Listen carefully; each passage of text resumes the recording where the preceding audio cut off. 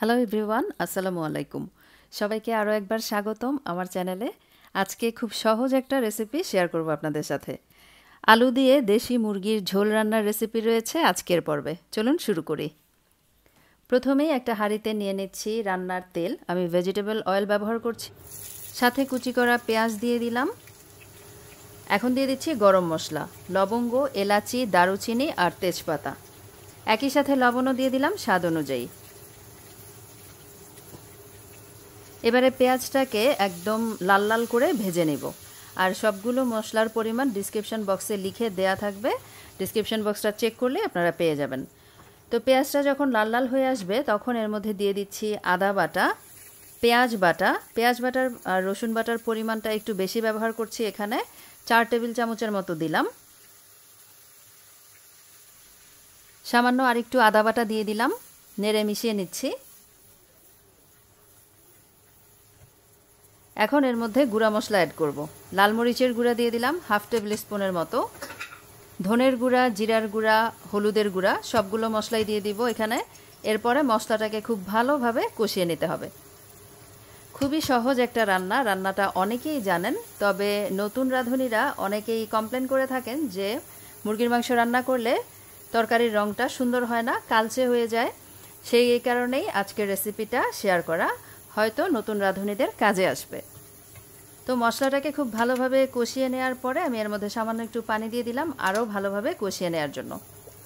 চুলার আঁচটা কিন্তু মিডিয়ামে রাখতে হবে, খুব বেশি হাই আঁচে রাখলে মশলাটা আবার পুড়ে যাবে। এদিক থেকে এক কেজি ওজনের একটা দেশি মুরগি বা ভিলেজ চিকেন খুব ভালোভাবে ধুয়ে রেগুলার সাইজ করে কেটে পানি ঝরিয়ে রেখেছিলাম।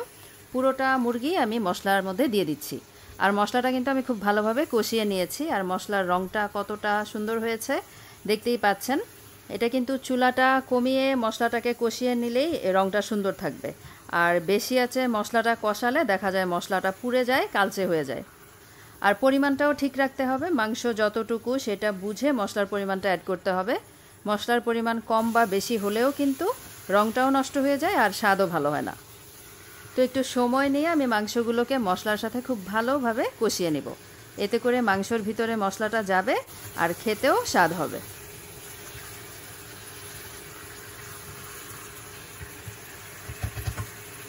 প্রায় সাত থেকে আট মিনিট চিকেনটাকে কষিয়ে নিয়েছি। এখন এর মধ্যে দিয়ে দিচ্ছি পানি। পানির পরিমাণ খুব বেশি দিব না। অল্প পরিমাণে দিলাম চিকেনটাকে মোটামুটি সেদ্ধ করে নেওয়ার জন্য। আর আলু আমি পরে ব্যবহার করব। যেহেতু ভিলেজ চিকেন নিয়েছি আর এই চিকেনটা সিদ্ধ হতে একটু সময় লাগে, তাই আগে অল্প পানি দিয়ে আমি চিকেনটাকে এইটি পার্সেন্টের মতো সিদ্ধ করে নেব। প্রায় দশ মিনিট রান্না করে নেওয়ার পরে ঢাকনা তুলে একটু নেড়ে দিচ্ছি। এরপরে ঢাকনা দিয়ে আবারও আমি দশ মিনিটের জন্য চিকেনটাকে সেদ্ধ হতে দিব। আর ব্রয়লার চিকেন দিয়ে যদি চিকেনটা রান্না করেন, সেক্ষেত্রে কিন্তু মাংস কষানোর সময় আলুটা দিয়ে দিলেই হবে। একসাথে কষিয়ে তারপর সেদ্ধ হওয়ার জন্য বা ঝোলের জন্য পানিটা অ্যাড করে সিদ্ধ করে নিতে হবে। কারণ ব্রয়লার চিকেন সেদ্ধ হতে খুব বেশি সময় লাগে না। তো টোটাল ২০ মিনিট আমি এই চিকেনগুলোকে সিদ্ধ করে নিয়েছি। চিকেনটা প্রায় এইটি পার্সেন্টের মতো সেদ্ধ হয়ে গেছে। এ পর্যায়ে এর মধ্যে দুটো মিডিয়াম সাইজের আলু কেটে রেখেছিলাম, আলুগুলোকে দিয়ে দিলাম। এই ঝোলের সাথে আলুটাকে কিছুক্ষণ কষাতে হবে। এখন ঢাকনা দিয়ে দিব আর চুলার আঁচটাকে মিডিয়াম টু হাইতে রেখে পাঁচ থেকে ছয় মিনিট এভাবেই রান্না করব।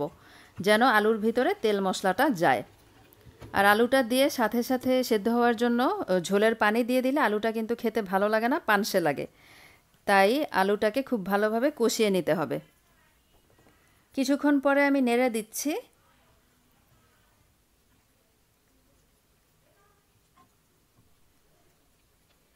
এখন এর মধ্যে দিয়ে দিচ্ছি পানি।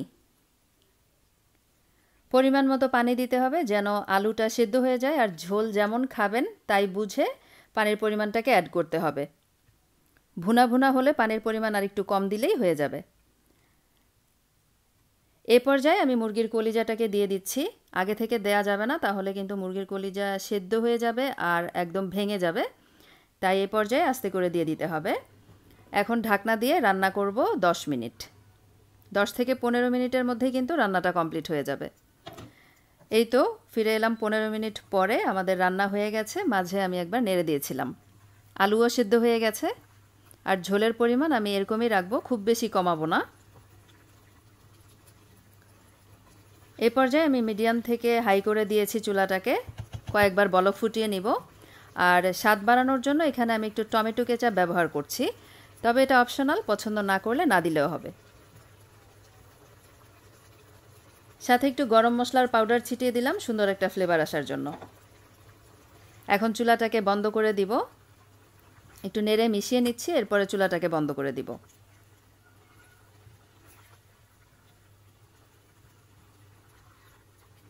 আর গরম চুলার উপরে হাঁড়িটাকে রেখে দিব কিছুক্ষণ, তাহলে এই তরকারিটার উপরে একটু তেলটা ভেসে উঠবে আর রঙটাও সুন্দর হবে। এই তো তৈরি হয়ে গেল ভীষণ মজার দেশি চিকেন রান্না। তো খুবই কমন একটা রান্না, তবে নতুন রাঁধুনিদের উপকারে আসবে। সেই আশাতেই আজকে বিদায় নিচ্ছি। আল্লাহ হাফেজ।